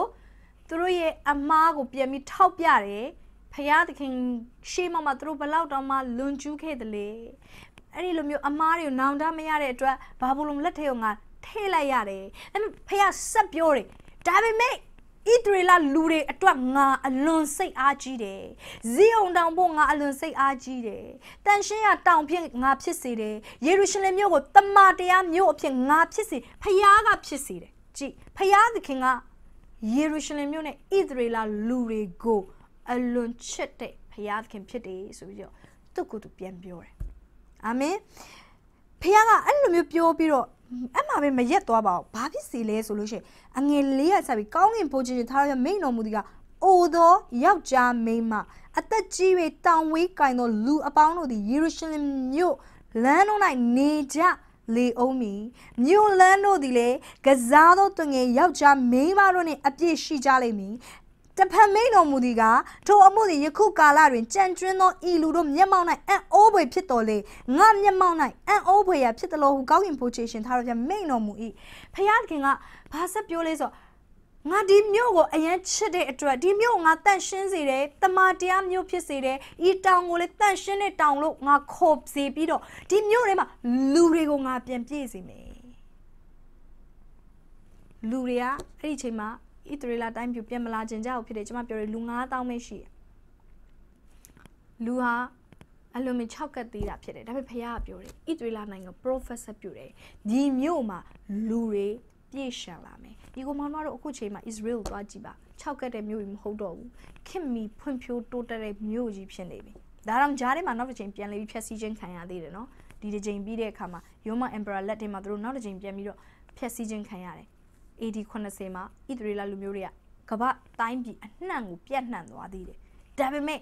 ဖယားခင်ကယေရုရှလင်ကိုဘလောက်ချစ်လဲဣသရေလလူတွေကိုဘလောက်ချစ်တယ်လဲဆိုရင်သူ့ရဲ့လက်တော်နဲ့ပြန်လဲပြီးတော့တိမ်စီးပြီးတော့အဲ့မြို့ဟာပြန်လဲပြီးစီကားတဲ့မြို့ဖြစ်လာစေတယ်ဒီနေ့တင့်ရဲ့အသက်တာမှာလဲ6ကတ်နေလားဆုံရှုံမှုတွေနဲ့ကြုံတွေ့နေရသလားဖျားတကယ်ပြန်လေပြီးတော့တင့်ဘဝကိုဖြည့်ပေးနိုင်တယ်ကြွေဝခြင်းကောင်းကြီးမင်္ဂလာနဲ့ဖြည့်ပေးနိုင်တာဖြစ်တယ်ဖျားတကယ်ကလူကြီးလူငယ်ကလေး အရွယ်မျိုးစုံနဲ့လမ်းမတွေဟာပြည့်လိမ့်မယ်ဒါဘာကိုပြောတာလဲသိလားဒီနေ့ဖျားသခင်ရဲ့နိုင်ငံတော်မှာလေလူကြီးလူငယ်ကလေးအရွယ်အစုံဟာနိုးထကြမှာဖြစ်တယ်လမ်းမတွေမှာပြည့်ကြမယ်ဆိုပါလေနိုးထမှုဖြစ်တယ်ဟာလေလုယာကျမတို့တွေဒီလည်းပဲဖျားသခင်နိုင်ငံတော်တွေမှာကလေးတွေလည်းနိုးထမှုရှိဖို့ရန်အတွက်မျှော်လင့်လို့ရတယ် လူကြီးတွေလည်းနိုးထမှုဖြစ်လာမယ်လို့မျှော်လင့်လို့ရတယ်အသက်ဘလောက်ကြီးကြီးစီနီယာအသက်အရွယ်တွေပဲလေ60 80 80တွေပဲလေနိုးထတဲ့သူတွေဖြစ်လို့ရတယ်ကျမတွေ့ဘူးတဲ့ဆရာကြီးတယောက်ဆိုရင်အသက်80ကျော်ပြီအခုဒီကဘာပတ်ပြီးတရားဟောတော်ဖြစ်တယ်ဟာလေလုယာအဲ့ဒီလိုမျိုးအရာတွေမြောက်များစွာဖြစ်လာအောင်မယ်မြန်မာလူမျိုးတွေထဲမှာလည်းပေါ်လာအောင်မယ်အာမင်ဣသရေလလူတွေလူကြီးကလေးလူရွယ်အရွယ်တိုင်းကနိုးထတယ်လို့ပဲဒီနေ့ကျမတို့ရဲ့အသက်တာမှာလေအရွယ်မျိုးစုံနိုးထဖို့ရန်အတွက်မျှော်လင့်လို့ရတယ် ဖခင်သခင်ကနောက်ကာလမှာလူမျိုးတကာအပေါ်တို့လို့ပြောတဲ့အခါမှာ I will pour out my spirit on all flesh လို့ခေါ်တယ် all flesh ဆိုတဲ့အခါမှာလူတိုင်းဖြစ်တယ်ကလေးမို့လို့ ဝိညာဉ်နည်းနည်းပဲသွန်းလောင်းမယ်ဆိုတာမရှိပါဘူးလူကြီးမို့လို့နည်းနည်းပဲသွန်းလောင်းမယ်ဆိုတာလည်းမရှိပါဘူးလူတိုင်းအပေါ်မှာဝိညာဉ်တော်ကိုသွန်းလောင်းခြင်းနဲ့ဖခင်သခင်ဖြစ်တယ်လူအရွယ်ဆုံးဟာနိုးထမှုဖြစ်လာမယ်ကလေးတွေလည်းနိုးထမှုဖြစ်လာမယ် prophet ညံတွေကိုရကြလိမ့်မယ်သူတို့တွေဟာအဲ prophet ညံတွေနဲ့ဟောပြောကြလိမ့်မယ် hallelujah ကလေးတွေပြင်လင်ဟောပြောကြလိမ့်မယ်အနာရောဂါငြိမ်းခြင်းအမှုတွေကိုကလေးတွေပင်လင်ပြုကြလိမ့်မယ် လူငယ်တွေလည်းပြုကြလိမ့်မယ်လူငယ်တွေကိုအခုချိန်မှာပြောတယ်ဟာသူတို့ကဖခင်နိုင်ငံတော်နဲ့ပတ်သက်စိတ်ဝင်စားဂိမ်းမဲ့စိတ်ဝင်စားတယ်ရုပ်ရှင်မဲ့စိတ်ဝင်စားတငယ်ချင်းမဲ့စိတ်မဟုတ်ဘူးဖခင်ကိုစိတ်ဝင်စားလာကြလိမ့်မယ်ဘာဖြစ်လို့လဲဆိုတော့ဖခင်သခင်ကအလွန်စိတ်အားကြီးတဲ့အတွက်ကြောင့်ဖခင်ကိုယ်တိုင်အလုံးလုံးမှာဖြစ်တယ်ကျွန်မယုံကြည်တယ်ဖခင်သခင်ကိုယ်တိုင်ကြီးမားတဲ့နိုးထားမှုကိုလုပ်မှာဖြစ်တယ်အာမင်အရွယ်ဆုံးအတွက်အရွယ်ဆုံးအတွက်ဖခင်ခင်အလုပ်လုပ်မှာဖြစ်တယ်အာမင် မြို့လန်းတို့သည်လည်းအငယ်ငါးမှာကစားသောသူငယ်ယောက်ျားမိန်းမတို့နှင့်အပြည့်ရှိကြလိမ့်မည်တဖန်မိန်တော်မူကထိုအမှုသည်ယခုကာလတွင်ကြံ့ကျင်းသောဤလူတို့မျက်မှောက်၌အံ့ဩဖွယ်ဖြစ်တော်လေအခုကာလမှာရှိတဲ့ကြံ့ကျွင်းတဲ့သူဆိုတာပါလေအခုမှပြန်ရောက်လာတဲ့လူ9000ပြောချင်တာအကုန်လုံးတော့မဟုတ်သေးဘူးကြံ့ကျွင်းတဲ့လူကြံ့ကျွင်းတဲ့လူတွေအတွက်အံ့ဩဖွယ်ဖြစ်လိမ့်မယ်ဒီကြံကျွန်းတဲ့လူတွေကဘယ်သူတွေလဲနားထောင်နေသူတွေဖြစ်တယ် ဖခင်ကပြန်လာပါလို့ပြောတဲ့အခါမှာပြန်လာတဲ့သူတွေဖြစ်တယ်ဖခင်ထမသူတို့ရဲ့အသက်တာကိုစက်ကတ်ထားတဲ့သူတွေသူတို့ဖခင်သခင်ပြောတဲ့အရာကိုနားထောင်တဲ့သူတွေဒီနေ့အဲ့ဒီကြံကျွန်းတဲ့သူတွေမှာတင်းနေကျမပါဖို့လိုအပ်တယ်အင်္ဂလိပ်လိုသူတို့ remnant လို့ခေါ်တယ် remnant ဆိုတာကြံကျွန်းတဲ့အနှဲငယ်သောအုပ်စုလေးတစ်စုဖြစ်တယ်ဒါပေမဲ့သူတို့ဟာအလွန်တကူပါတယ်ဒီနေ့မိတ်ဆွေသိလားဟုတ်ပါတယ်ခရစ်တော်ရဲ့သာသနာထဲမှာဆက်ကတဲ့လူအများကြီးတော့ရှိချင်မှရှိလိမ့်မယ် ကျမတို့လည်းမျှော်လင့်တာပေါ့တိမ့်နေချီတန်းနေချီဆက်ကကြဖို့ဒါပေမဲ့အကုန်လုံးမဆက်ကရင်တော့မတင်နဲ့ကျမဆက်ကတယ်ဆိုရင်ကျမတို့အ ਨੇ စုသောသူတွေဖရားအတွက်စိတ်အားကြီးမယ်ဆိုရင်အအိုးဘွေသောအမှုတွေဟာကျမတို့ရဲ့ပတ်ဝန်းကျင်မှာဖြစ်လာမယ်ယုံကြည်ပါဟာလေလုယာဒီအငယ်အခန်းကြီး၈ကတကယ်ကိုစိတ်ဝင်စားစရာကောင်းတဲ့အရာတွေဘုရားသခင်စပြောတယ်။ဘာလို့လဲဘုရားသခင်သူတို့ရဲ့အပြစ်တွေကိုဆုံးမတဲ့ဘုရားဖြစ်တယ်လို့သူတို့ကိုပြန်လေပြီးတော့ရွေးနှုတ်တဲ့ဘုရားသခင်လေးဖြစ်တယ်။ပြောပါဘုရားသခင်ရွေးနှုတ်တဲ့ဘုရားဖြစ်တယ်။ အာမင်။အဲ့ဣသရေလလူတွေပြန်လေရွေးနှုတ်ပြီးတော့သူတို့ကိုကြံ့ကျွင်းတဲ့သူတွေအတွက်အံ့ဩဖွယ်ရအမှုဖြစ်ပေမဲ့ငါအတွက်တော့အံ့ဩစရာမကောင်းငါဟာဒီအမှုကိုအရင်ကတည်းကပြုကျင်တဲ့ဘုရားဖြစ်တယ်။ငါဟာတက်ဆွမ်းနိုင်တဲ့ဘုရားသခင်ဖြစ်တယ်။အာမင်။ အငယ်ခုနှစ်မှာဆက်ပြောတယ်ကောင်းကင်ဘိုးချရှင်ထားရပြမိန်တော်မူသည်ကငါဤလူတို့ကိုအရှိပြည်မှ၎င်းအနောက်ပြည်မှ၎င်းငါကေတင်၍ဆောင်ခဲ့သဖြင့်သူတို့သည်ယေရုရှလင်မြို့ထဲမှာနေရကြလိမ့်မည်တစ္ဆာတရားနှင့်ဖြောင့်မတ်ခြင်းတရားအပြင်သူတို့သည်ငါဤလူဖြစ်၍ငါသည်လေသူတို့ဤဖျားသခင်ဖြစ်လိမ့်မည် တော့ဘုရားကဒီကျမ်းစာအခန်းကြီး၈မှာသစ္စာတရားဖြောင့်မတ်ခြင်းတရားတန်ရှင်းခြင်းဆိုတဲ့အရာကိုအဓိကသုံးတယ်မိတ်ဆွေသိလားကျမတို့ဘုရားသခင်ကဖြောင့်မတ်တဲ့ဘုရားဖြစ်တယ်သစ္စာရှိတဲ့ဘုရားတန်ရှင်းတဲ့ဘုရားဖြစ်တယ်အာမင်ဖခင်ကဘယ်တော့မှ discount မချပါနဲ့ဖခင်ကမတန့်ရှင်းတဲ့ဖခင်မဖြောင့်မတ်တဲ့ဖခင်မဟုတ်ပါဘူးဖခင်သခင်ဟာတန့်ရှင်းတဲ့ဖခင်ဖြစ်တယ်အဲ့တော့သူဟာတန့်ရှင်းတဲ့အတိုင်းသူ့ရဲ့လူတွေကိုလည်းဖခင်ကတန့်ရှင်းစေခြင်းတယ်အဲ့တော့ဖခင်သခင်ကဘာပြောလဲဆိုရင် သူ့ရဲ့ဣသရေလလူတွေကိုအရှိပြေရ၎င်းအနောက်ပြေရ၎င်းခေါ်မယ်အရှိပြေဆိုတာဘာကိုပြောချင်တာလဲဘာဘူးလုံးပြေကိုပြောချင်တာသူတို့ဒီတဝိုက်မှာရှိတဲ့ဒူတွေအရှိပြေတဝိုက်မှာရှိတဲ့ဒူတွေကိုဖះကပြန်ခေါ်လာမယ်တနည်းအားဖြင့်အဲ့ဒီဇာခရစ်ပရောဖက်ပြုတဲ့လက်ရှိကာလကိုဆိုလိုချင်တာဖြစ်တယ်ဒါပေမဲ့အနောက်ပြည်ဆိုတာကတော့ ဇာခရစ်လက်ရှိရောက်နေတဲ့အချိန်မဟုတ်ဘဲနဲ့လာမယ့်အနာဂတ်မှာဣသရေလလူတွေက AD 80မှာယောမ emperor ရဲ့ဖျက်ဆီးခြင်းကြောင့်မို့လို့တိုင်းတိုင်းအပြည့်ပြည့်တို့ကွဲလွန်သွားခဲ့တယ်။ကမ္ဘာနိုင်ငံအရက်ရက်တို့ရောက်သွားတယ်။အနောက်ပြည်ကိုလည်းရောက်သွားတယ်။မြောက်များစွာသောသူတွေကအနောက်ပြည်တွေကိုရောက်သွားတယ်။အဲ့ဒီကနေလေအနာဂတ်အတွက်ဘုရားကကြိုတင် prophet ပြုတယ်။ငါမင်းတို့ကိုပြန်ပြီးတော့သိမ်းဆည်းနိုင်တဲ့ဘုရားဖြစ်တယ်။ ငါမင်းတို့ဖျက်ဆီးခြင်းလက်ထဲကနေပြန်လေရွေးနှုတ်မယ်။ကမ္ဘာပေါ်မှာလေ Israel ဆိုတာမြေပုံပေါ်ကနေပျောက်ထွက်သွားတာဖြစ်တယ်။ Israel ဆိုတာသူတို့ရဲ့နိုင်ငံဆိုတာမရှိခဲ့တော့အဲ့လောက်ထိအခြေအနေထိဆိုးသွားခဲ့တာ80 90မှာတကဘာလုံးကိုသူတို့ပြန့်လွှင့်သွားတယ်နိုင်ငံဆိုတာမရှိတော့ဒါပေမဲ့ဖျားသခင်ကသူတို့ကိုပြန်လေပြီးတော့တင်းစီမယ်လို့ဂတိတော်ကိုဇာခရစ်အနာဂတိကျမ်းမာကလေးကဂတိပေးခဲ့တယ် ဒါကြောင့်လေသူတို့ဟာပြန်လေပြီးတော့တည်ရှိခွင့်ရတယ်အခုဆိုရင် Israel ဟာကမ္ဘာမြေပုံပေါ်မှာပြန်ရှိနေဖြစ်တယ်ဖျားခင်ကျေးဇူးတော်တသက်ကြောင့်ဖြစ်တယ်ဖျားခင်အလိုစိတ်အားကြီးတဲ့အတွက်မိတ်ဆွေတီလာတင့်အပေါ်မှာဖခင်ကချစ်တဲ့အတွက်တန်ဟာမပြည့်စည်ရတာဖြစ်တယ်။ဟဲ့ကျမတို့ဒီအနာဂတ်ကြောင်လေ့လာတဲ့အခါမှာကျမရဲ့အထဲမှာဘာရလဲဆိုစိတ်ချမှုရတယ်။ကျမတို့တွေကိုဖခင်ကဘလောက်ချစ်ပြီးကျမတို့ကိုဘလောက်ဖမ်းဆုပ်ဖို့ရန်အတွက်ဆန္ဒရှိတဲ့ဖခင်လေ။ ဖခင်ကတန့်ရှင်းခြင်းနဲ့အဲ့ဒီသူတွေကိုပြန်လေပြီးတော့ထိုသူတို့ကိုငါဆောင်ခဲ့သဖြင့်သူတို့သည်ယေရုရှလင်မြို့ထဲမှာနေကြရလိမ့်မည်တစ္ဆာတရားနှင့်ဖြောင့်မတ်ခြင်းတရားအပြင်သူတို့သည်ငါဤလူဖြစ်ရကြလိမ့်မည်သူတို့ကအဲ့ဒီမြို့မှာနေတဲ့အခါမှာတစ္ဆာတရားနဲ့ဖြောင့်မတ်ခြင်းတရားအပြင်နေမယ်ဆိုတဲ့အဓိပ္ပာယ်ပါလေသူတို့ကဘာသာရေးသမားတွေမဟုတ်တော့သူတို့ဟာဖျားသခင်ကိုတိပြီးတော့ဖျားကိုချစ်အားကြီးတဲ့သူတွေအဖြစ်ဖျားရဲ့လူအဖြစ် ဟောဒီမှာသုံးထားတဲ့စကားကငါဤလူဖြစ်၍ငါဒီလေသူတို့ဖျားခင်ဖြစ်မယ်တကယ်ဖျားနဲ့ယဉ်နီးကျွမ်းဝင်မှုရှိတဲ့ဖျားရဲ့သားသမီးတွေဖျားရဲ့လူတွေဖြစ်လာလိမ့်မယ်ဒီဖျားလိုချင်တာဘာသာရေးသမားတွေမဟုတ်ဘူးဖျားလူတွေကိုဖျားလိုချင်တာဖြစ်တယ်အာမင်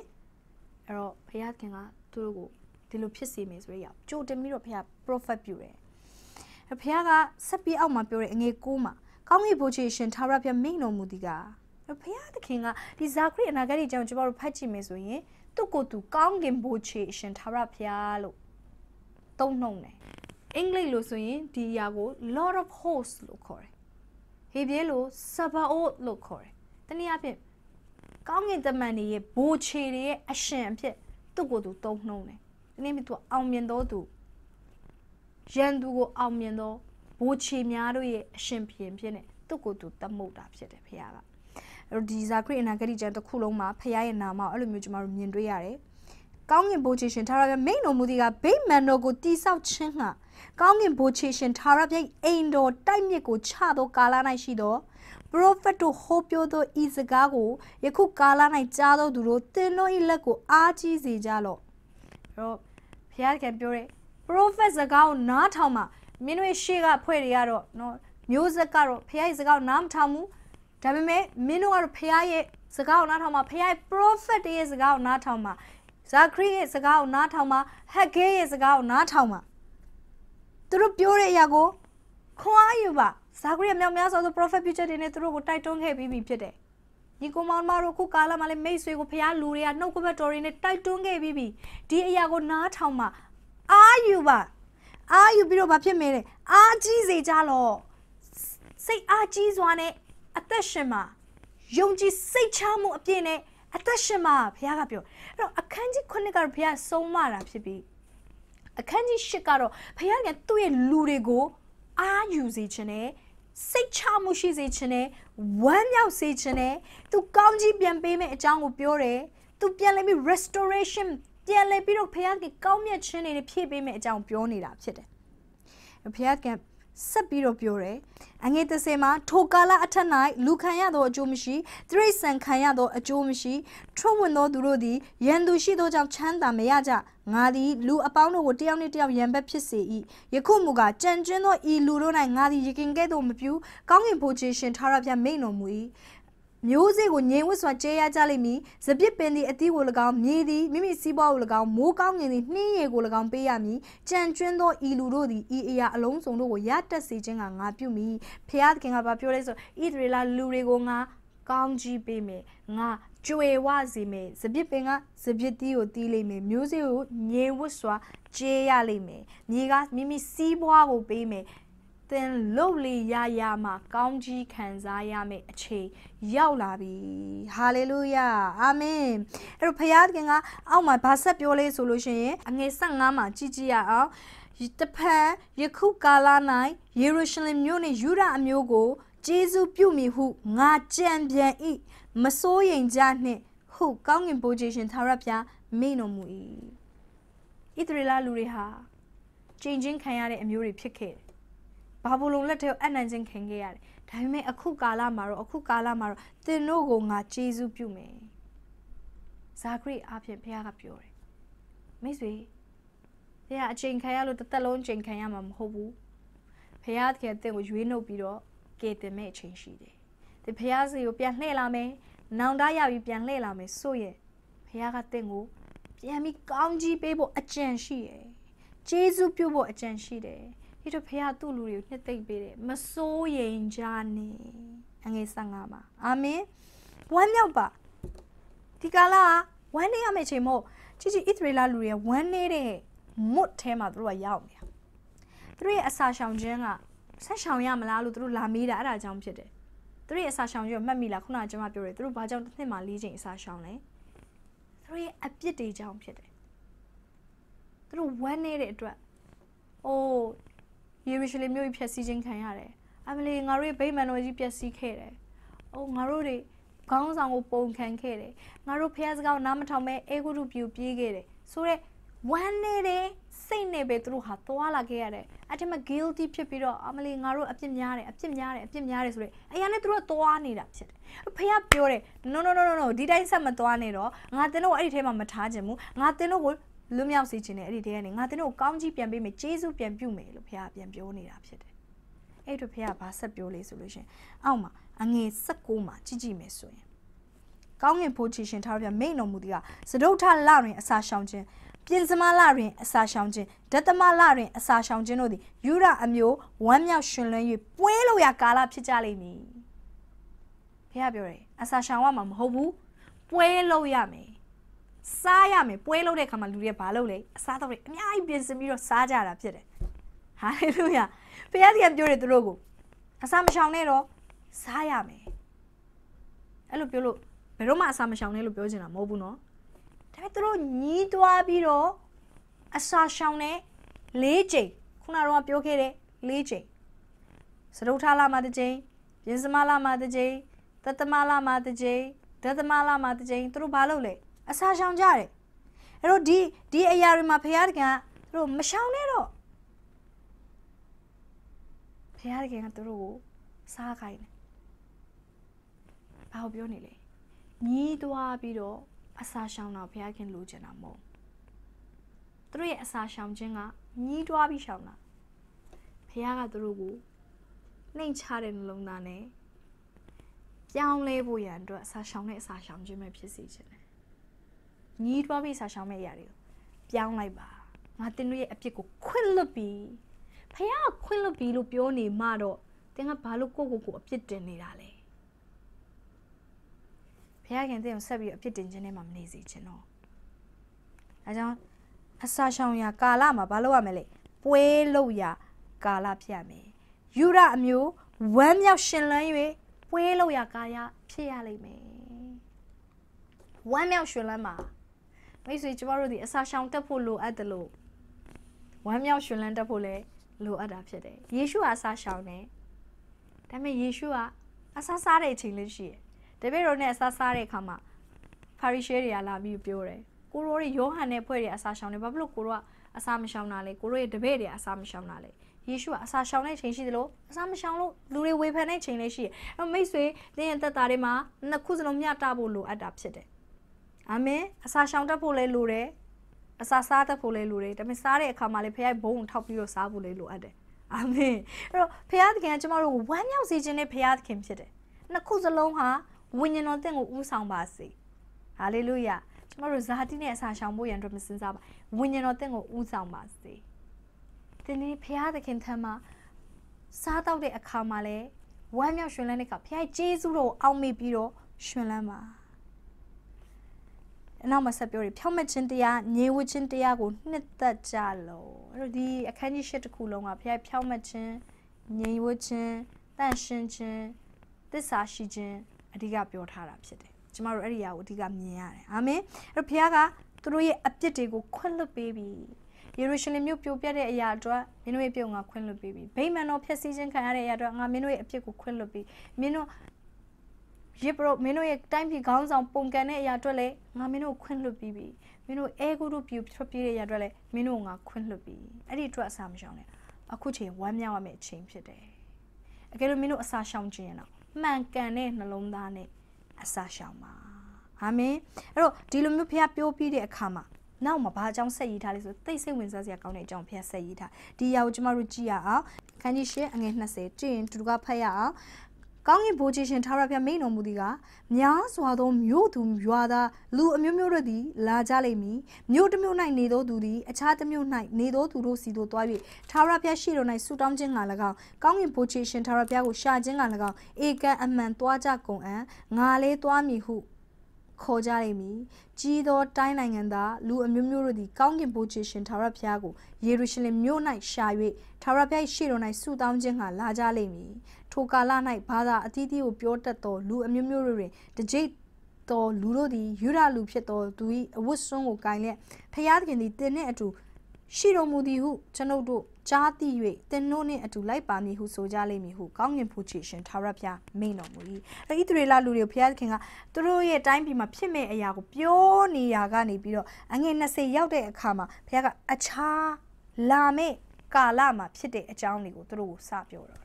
အဲ့တော့ဘုရားသခင်ကတခါတည်းမှာ prophet ပြုချက်တွေเนาะအနာဂတ်ကျမ်းတွေကိုကျမတို့လေ့လာတဲ့အခါမှာဘာကြောင့်နားမလေလေးဆိုတော့ကျမတို့ဒီကျမ်းစာတစ်ခုနဲ့တစ်ခုကိုတိုက်ပြီးတော့ကြည့်ဖို့လိုအပ်တယ်ဘုရားကဘေးအရာကိုဘေးကာလအတွက်ပြောတာလေဘေးအရာကိုဘေးကာလအတွက်ပြောတာလေဆိုတော့ကျမတို့ခွဲခြားပြီးသိဖို့ရန်အတွက်လိုအပ်တာဖြစ်တယ်အာမင်အဲ့တော့အငယ်20မှာကတော့ဘုရားခင်ကဘာပြောလဲဆိုများစွာသောမြို့သူရွာသားလူအမျိုးမျိုးတွေဒီကျွန်တော်စီကိုလာကြလိမ့်မည်ဒီအရာဟာဘေးကာလနဲ့ပတ်သက်ပြီးပြောလေဆိုရင် ကျွန်တော်ပင်တေကုတ်တီနေတမန်တော်အခန်းကြီး2ရောက်တဲ့အချိန်မှာလူတွေများစွာကယေရုရှလင်မြို့ကိုရောက်လာတယ်မှတ်မိလား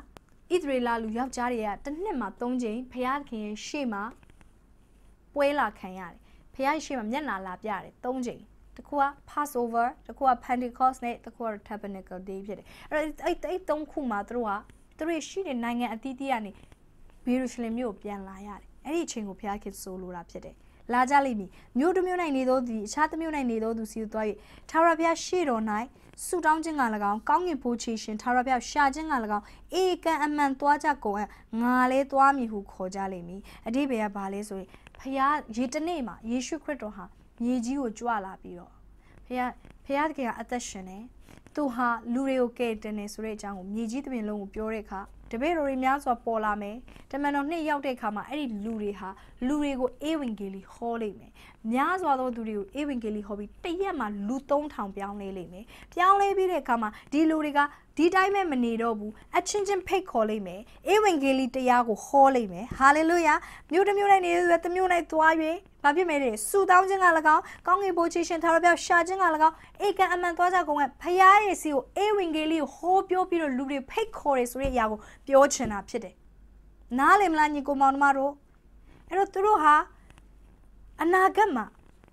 မေရှိယကိုသူတို့မြင်တွေ့ရမယ်မေရှိယဟာဒီဗိမာန်တော်ကိုလာမယ် ဒီနေရာမှာလူတွေဟာနိုးထပြီးတော့မေရှိယနောက်ကိုလူတွေများစွာလိုက်လာကြလိမ့်မယ်ဆိုရရအောင်ဘုရားကဇာခရီအပြင် prophet ပြုနေတာဖြစ်တယ်။အဲဒီမှာကြီးသောတိုင်းနိုင်ငံသားလူအမျိုးမျိုးတို့သည်ကောင်းကင်ဘိုးရှင်ရှင်သာရဘုရားကိုယေရုရှလင်မြို့၌ရှာ၍သာရဘုရားရှေ့တော်၌ဆုတောင်းခြင်းငါလာကြလိမ့်မည်။အဲ့ဒါပါလေလူအမျိုးမျိုးဆိုတာတပါးမျိုးသားတွေလူအမျိုးမျိုးဟာဘုရားစီကိုလှည့်မိအချိန်ရောက်လာတော့မယ်။ ဘာသာအတိအကျကိုပြောတဲ့လူတွေဟာလေဣသရေလလူတွေကိုပြောတယ်။တင်းတို့နောက်ကိုငါလိုက်မယ်။တင်းတို့ရဲ့ဖခင်ကဖခင်စစ်မှန်ဖြစ်တယ်။ဆိုတဲ့အရာကိုဖခင်က prophet ပြုခိုင်းတယ်။ဒီဣသရေလလူတွေဟာကျွန်အဖြစ်နှစ်80ခံရပြီဣသရေလနိုင်ငံအခုမှပြန်ရောက်လာတာဖြစ်တယ်သူတို့မှာစိတ်ပြအားငယ်မှုတွေအများကြီးရှိတယ်ဝမ်းနေနေတာဖြစ်တယ် အဲဖေကပြောတယ်ဝမ်းမြောက်ပါငါတင်တို့နဲ့အတူရှိပြီလာမယ့်အနာဂတ်မှာလူအမျိုးမျိုးနိုင်ငံအသီးသီးကလူတွေကတင်တို့စီကိုလာလိမ့်မယ်တင်တို့စီမှာငါရဲ့ကေတင်ချင်းတဲ့ဟာထွက်ပေါ်လိမ့်မယ်တင်တို့စီမှာလူတွေကလာပြီးတော့တင်တို့ရဲ့ဖယားဟာအသက်ရှင်တဲ့ဖယားဖြစ်တယ်ဆိုရရဝန်ခံတဲ့နေ့ရက်ရောက်လာလိမ့်မယ်ဆိုပြီးဖယားကသူတို့ကိုကြိုတင်ပြီးတော့အားပေးနေတာဖြစ်တယ် အာမင်အဲ့ဖယားသခင်ဟာသူ့ရဲ့လူတွေအပေါ်မှာအလွန်မင်းကောင်းမြတ်တဲ့ဖယားဖြစ်တယ်သူ့လူတွေကိုချစ်ပြီးတော့ကယ်နှုတ်တဲ့ဖယားဖြစ်တယ်သစ္စာရှိတဲ့ဖယားသခင်ဖြစ်တယ်အဲ့ဖယားကိုသင်ဟာကိုးကွယ်နေခွင့်ဒီနေ့မှာရနေတယ်သူရဲ့အေဝင်ဂေလိတယောက်သေဆောင်ခွင့်ဒီနေ့မှာရနေတယ်ဒီအရာတော့ကျမတို့ဂျေဇုတော်ချီးမွမ်းဖို့လိုအပ်တယ်ဒီနေ့ရဲ့ဟာသင်ဝမ်းနေရမယ့်နေ့ရမဟုတ်သင်ဝမ်းမြောက်ရမယ့်နေ့ရဖြစ်တယ်ဟာလေလုယာ ကျမနဲ့အတူဂျေဇုတော်ကိုချီးမွမ်းပြီးတော့အတူတူကစက္ကန့်အနဆုတောင်းရအောင်ဟာလေလုယာကိုရီယန်ဒါလာဘာရှီရီယန်ဒါလာဘာရီဒီစီရီယာဒါလာဘာရှီရီယာဒါလာဘာရီဒီဒီကောင်းငင်ဖို့ချေရှင်အဖာကိုရောဟာအလွန်ပင်ကိုရောလူတွေကိုချစ်တော်ဖရားဖြစ်ပါတယ်ကိုရောရဲ့စိတ်အားကြီးခြင်းနဲ့ဣသရေလလူတွေကိုရွေးနှုတ်ခဲ့တယ်လို့ကျွန်ုပ်တို့ကိုလည်းကိုရောအသေးခံလျက် ရွေးနှုတ်ခဲ့ပါတယ်ကိုရောရဲ့မေတ္တာအလွန်ကြီးမားကြောင်းကိုသမီးတို့ဝန်ခံပါတယ်ထိုမေတ္တာကဲ့သို့ကြီးမားတဲ့မေတ္တာမရှိပါဘူးသမီးတို့လည်းဒီနေ့မှာကိုရောရဲ့အနာကိုဆွဲခေါ်ပြီးကိုရောနဲ့ဆိုင်သောသူများဖြစ်စေခဲ့တယ်ထိုအရာများအတွက်ကျွန်တော်တို့ဝမ်းမမြောက်ပဲဝမ်းနေခဲ့တဲ့အရာများအတွက်တောင်းပန်ပါတယ်ဒီနေ့မှာကျွန်တော်တို့ထိုတိကျအပေါ်မှာဝမ်းမြောက်ဖို့ရန်ဆုံးဖြတ်ပါတယ်ခရစ်တော်၌ကျွန်တော်ဝမ်းမြောက်ပါတယ် ကိုရောဟာကျွန်တော်ကိုကယ်တင်သောအရှင်ဖြစ်ပါတယ်ကျွန်တော်၌အမင်္ဂလာများမရှိတော့ပါချိန်ချင်းများမရှိတော့ပါဘူးဒီနေ့ရဟာဝမ်းမြောက်ရနေ့ရဖြစ်ကြောင်းဝန်ခံပါတယ်ဖာဣသရေလလူတွေကိုကိုရိုတွန့်တင်တယ်လို့ပဲတမီးရဲ့နှလုံးသားဟာလေကိုရိုနဲ့အမြဲထပ်တူဖြစ်ဖို့ရန်အတွက်တွန့်တင်တော်မူပါကျတို့ရဲ့နှလုံးသားကိုနှိမ်ချပြီးတော့ကိုရိုနဲ့တူတော်သူဖြစ်ဖို့ရန်အတွက်စက္ကတက်တော်သူများဖြစ်စီပါဒီနေ့မှာတမီးရဲ့နှလုံးသားကိုပေးပါတယ် ကိုရိုနဲ့ထပ်တူကြတော်သူများဖြစ်စီပါဂျေဇုပြုပါဝိညာဉ်တော်ကိုရိုကိုတမီးတို့နေရာပေးပါတယ်ယေရှုဖခင်ကျွန်တော်တို့ရဲ့နှလုံးသား၌ကိုရိုအလိုလိုတော်မူပါဇာခရီအနာဂတ်ကျမ်းအတွက်ဂျေဇုတင်တယ်ဣသရေလလူတွေကိုတော့တွင်တင်ဆုံးမတယ်လို့ယနေ့မှာကျွန်တော်တို့ကိုတွင်တင်နေတဲ့အရာများအတွက်လည်းဂျေဇုတင်ပါတယ်ဆက်လက်ပြီးကိုတို့ဘုန်းတော်ထင်ရှားဖို့ရန်အတွက်ဖြစ်စေပါယေရှုဘုရားနာမ၌စက္ကအနံနဲ့သမီးတို့ဆုတောင်းကြပါတယ်ဖာအာမင် ဟာလေလုယာအရောက်ချင်းစရန်ကိုဘုရားခင်ကောင်းချီးပေးပါစေ